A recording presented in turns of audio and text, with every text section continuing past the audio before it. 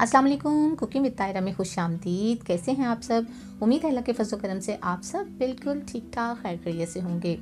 इंसान को नई नई डिशेस नई नई चीज़ें जो हैं उसे ज़रूर ट्राई करना चाहिए। तो आज मैं भी बनाने जा रही हूँ कोफ्ता कबाब। ये कोफ्ता कबाब एक तरह से टर्किश डिश है, लेकिन मैं इसको बनाऊँगी अपने स्टाइल में। उस वाले स्टाइल में नहीं बनाऊँगी, अपने स्टाइल में बनाऊँगी। बहुत ही टेस्टी बहुत मज़े के बनते हैं। आप भी बनाइएगा, आप भी इसको खूब इंजॉय करेंगे और मज़ा लेंगे। आइए देखिए मज़ेदार से कोफ्ता कबाब कैसे बनाते हैं और इसके लिए किन किन चीज़ों की ज़रूरत है। कोफ्ता कबाब बनाने के लिए हमें जिन चीज़ों की ज़रूरत है वो कुछ यूँ है। यहाँ पर मैंने दो अदद आलू लिए थे जिन्हें बॉयल कर लिया था और यहाँ पे मैंने चिकन लिया था दो सौ पचास ग्राम और उसको मैंने बॉयल कर लिया था थोड़ा सा लहसन, अदरक और नमक डाल के श्रेडिड करके रख लिया है। भुना हुआ कुटा हुआ ज़ीरा इस्तेमाल करेंगे, एक टीस्पून नमक हंसबे जायका इस्तेमाल करेंगे। काली मिर्च का पाउडर इस्तेमाल करेंगे एक टीस्पून और चिली फ्लेक्स इस्तेमाल करेंगे एक टीस्पून। इसके अलावा जो जाएगा इसमें तीन अदद सब्ज़ मिर्चें मैंने काट के यहाँ पे रख लिया है और यहाँ पे धनिया भी तकरीबन तीन टेबल स्पून है, इसे भी धो के काट के रख लिया है। फ्राई करने के लिए यहाँ मैंने ब्रेड क्रम्स लिए हैं, ये तकरीबन एक कप के करीब है और एक अंडा लिया है, जिसे हम फेंट लेंगे और फ्राई करेंगे। इससे अपने कबाब बिसमीम यहाँ पे लिया हमने अपना बाउल, उसमें डाल दिया है बॉयल चिकन अब इसके अंदर डालेंगे तमाम मसाले, यानी चिली फ्लेक्स डाल देंगे इसके अंदर, काली मिर्च का पाउडर डालेंगे इसके अंदर, साथ ही इसके अंदर भुना हुआ कुटा हुआ सीरा डालेंगे, नमक डालेंगे इसमें, और इसको अच्छे से मिक्स कर लेंगे। मिक्स करने के बाद इसमें हम मैश किए हुए पोटैटो डालेंगे। एक्चुअली वो बाइंडिंग के लिए इस्तेमाल होंगे, हमारे कबाब इससे अच्छे से बाइंड हो जाएँगे। फ्रेंड्स अगर आप मेरे चैनल पर नए हैं तो मेरे चैनल को सब्सक्राइब कीजिए, बेल आइकन प्रेस कीजिए, ताकि मेरी नई वीडियो की नोटिफिकेशन आपको फ़ौरन मिले। रेसिपी पसंद आए लाइक कीजिए, दोस्तों में फैमिली मेंबर में शेयर कीजिए। तो देखिए, यहाँ पे मैंने मैश किए हुए पोटैटो इसमें डाल दिए हैं। अब इसको अच्छे से इसमें मिक्स कर लेंगे, ताकि तमाम मसाले, हमारा चिकन इसमें अच्छे से मिक्स हो जाए, साथ ही सब्ज़ धनिया और हरी मिर्चें भी इसमें शामिल कर देंगे। चलें जी, इसको अच्छे से हमने मिक्स करना है। तमाम जो हैं वो अच्छे से आपस में घुल मिल जाएँ, मज़े से सारे मसाले आपस में मिक्स हो जाएँ, इसमें फ्लेवर अच्छा आएगा। अच्छा आप अपनी मर्ज़ी से मसालों को कम ज़्यादा कर सकते हैं, अपनी मर्ज़ी से एडजस्ट कर लें इसे। चलिए जी, बिस्मिल्लाहिर्रहमानिर्रहीम, अब हम थोड़ा सा मेज़ा उठाएँगे और इससे हम, इसको पहले हम बिल्कुल इस तरह गोल करेंगे। ये देखिए, बिल्कुल जैसे हम कोफ्ते बनाते हैं, ऐसे ही कोफ्ता कबाब हैं तो ज़ाहिर है कोफ्तों की शेप में ही बनेंगे। तो देखिए, एक बन गया है। ऐसे ही तमाम वन बाय वन हम बना लेंगे। ये देखिए, बहुत जल्दी, बहुत आसान से, मज़े मज़े से बन जाते हैं।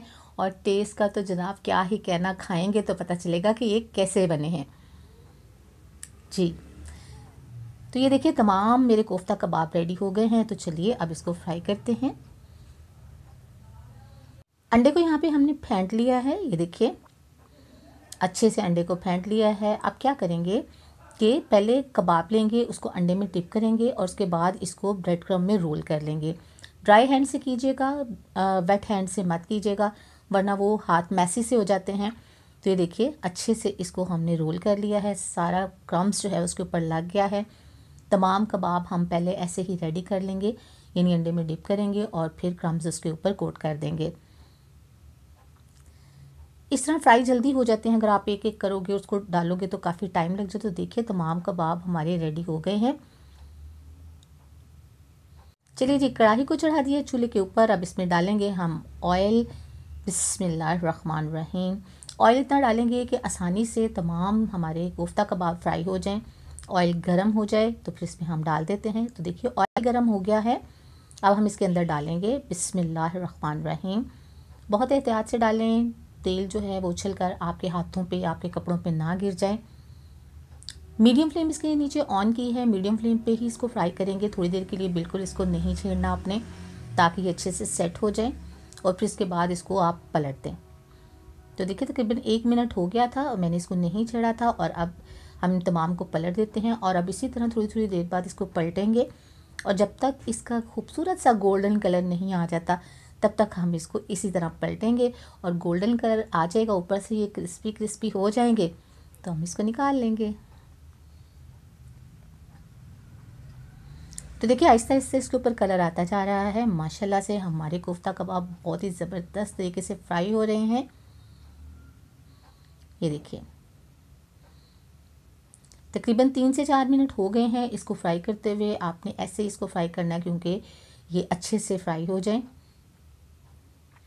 तो देखिए जी, माशाल्लाह से हमारा कोफ्ता कबाब बहुत ही ज़बरदस्त किस्म के देखें फ्राई हो गए हैं। इक्वल हर तरफ़ से ये अच्छे से गोल्डन हो गए हैं। अब हम इसको प्लेट में निकाल लेंगे। बिस्मिल्लाहिर्रहमानिर्रहीम।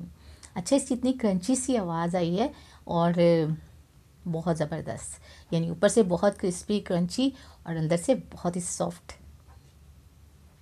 अभी टेस्ट करके देखते हैं, ट्राई करते हैं ये कैसे बने हैं। चलें जी बिस्मिल्लाहिर्रहमानिर्रहीम। एक कोफ्ता कबाब उठाएँगे और इसको केचप के साथ डिप करके और इन्जॉय करेंगे। हम्म, माशाल्लाह बहुत ज़बरदस्त माशाल्लाह। कैसी लगी आपको आज की रेसिपी अपना फीडबैक ज़रूर दीजिएगा दुआ में याद रखिएगा अपना बहुत सा ख्याल रखिएगा। अल्लाह ताला आपकी ज़िंदगी की तमाम नियमतें तमाम खुशियाँ ता फरमाए। आपकी ज़िंदगी में कोई दुख, कोई गम, कोई परेशानी कभी भी ना आए। आमीन सुमामीन नेक्स्ट वीडियो तक के लिए ताहिरा को इजाज़त दीजिए। अल्लाह हाफिज़।